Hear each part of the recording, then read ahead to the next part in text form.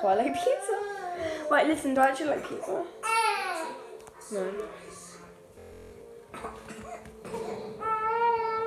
Why is?